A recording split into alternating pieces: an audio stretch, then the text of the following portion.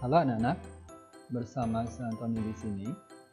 Di video kali ini, kita akan membahas tentang data handling atau penyajian data. Nah, di topik ini kita akan lebih fokus membahas tentang min, median, dan modus. Disimak videonya ya anak-anak. Tahukah kamu apa yang dimaksud dengan data? Data merupakan informasi yang diperoleh dari suatu pengamatan, wawancara, maupun penelitian yang dikumpulkan dalam bentuk angka atau lambang yang dapat dituangkan dalam bentuk tabel maupun diagram. Min Min adalah nilai rata-rata suatu kelompok data. Median merupakan nilai tengah suatu data setelah diurutkan. Modus merupakan nilai yang sering muncul dalam suatu kelompok data.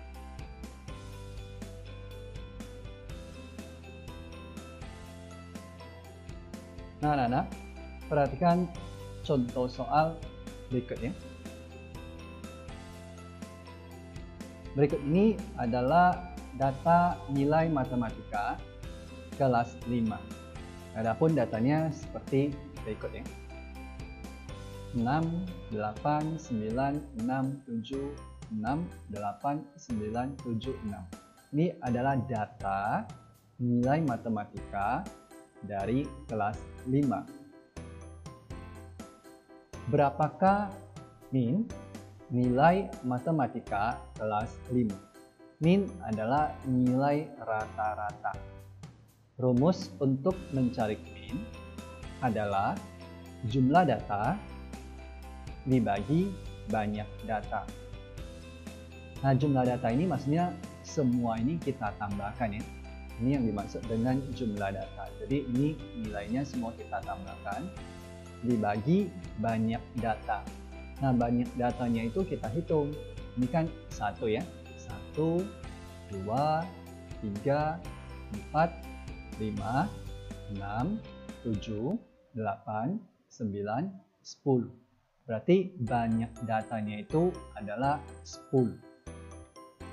Nah, ini tinggal ditambahkan ya hasilnya 72 per 10. Nah, ini kalau dibagi maka hasilnya 7,2. Jadi nilai min dari nilai matematika kelas 5 adalah 7,2.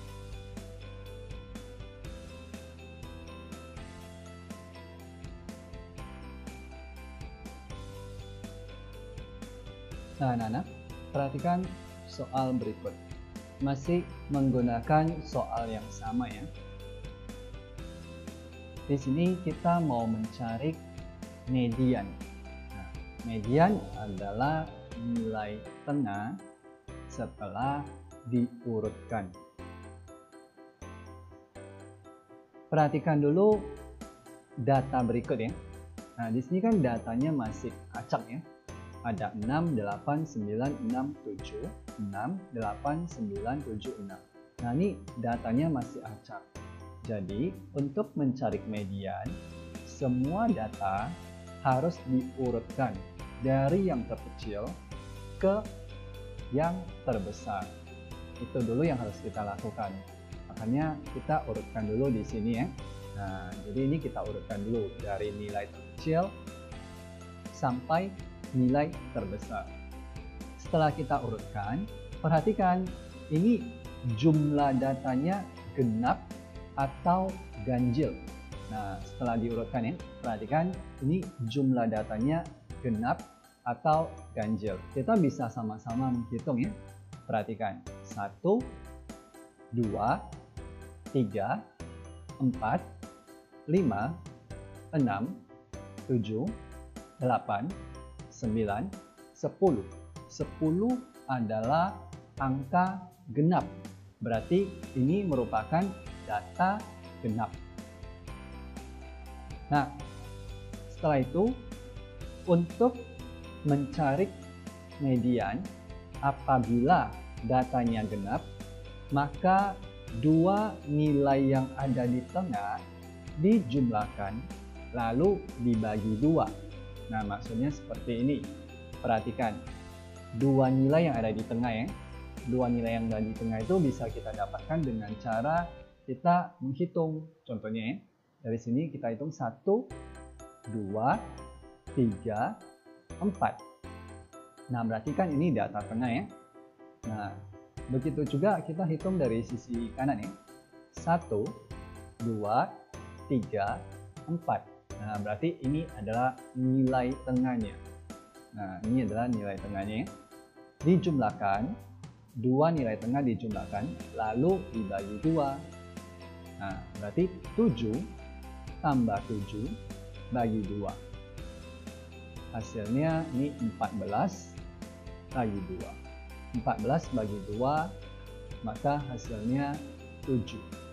Jadi, median dari nilai matematika kelas 5 adalah 7. Nah, ini kasusnya kalau kita dapat data yang genap.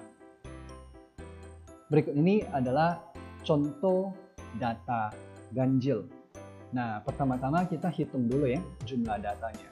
1, 2, 3, 4, 5, 6, 7, 8, 9. Nah, 9 kan angka ganjil ya. Berarti ini merupakan data ganjil. Nah, kalau datanya ganjil, kita bisa langsung mengambil nilai tengah. Nah, cara mengambil nilai tengahnya gimana? Kita hitung ya dari sini.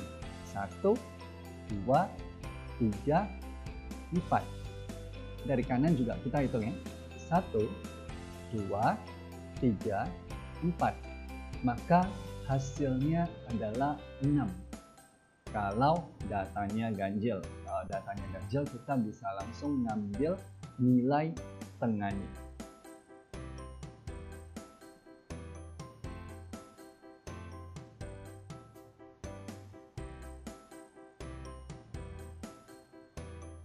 Anak-anak, masih dengan soal yang sama ya.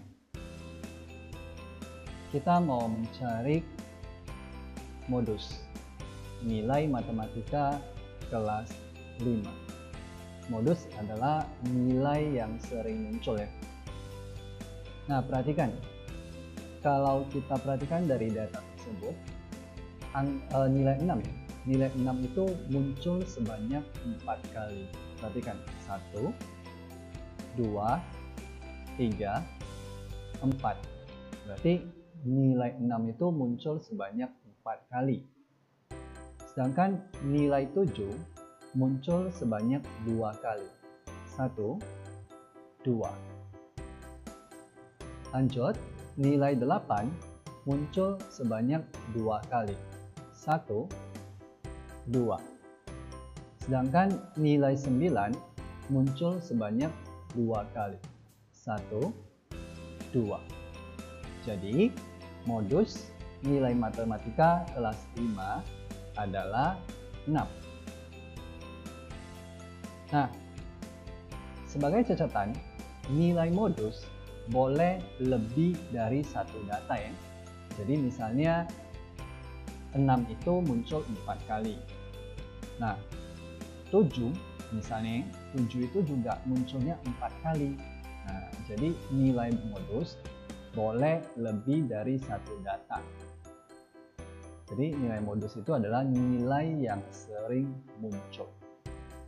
Anak-anak, perhatikan soal berikut. Berikut ini adalah data jumlah penjualan harian roti Pak Ali. Adapun datanya sebagai berikut. Nah, di sini Pak Ali menjual roti ya. Contohnya di hari Senin, roti yang terjual adalah 20 ya.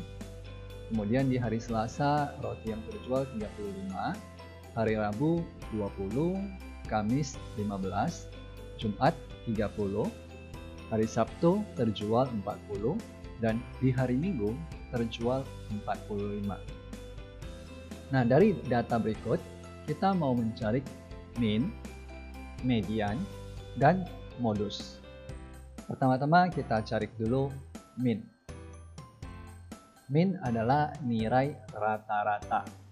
Jadi, semua ini kita jumlahkan dulu. Jumlah penjualan hariannya ya. kita jumlahkan, kita tambahkan, kemudian dibagi banyak data. Jadi di sini datanya kan ada 7 ya. Nah, berarti ini semua ditambah lalu dibagi 7. Maka hasilnya ini ya 205 bagi 7 maka hasilnya adalah 29,28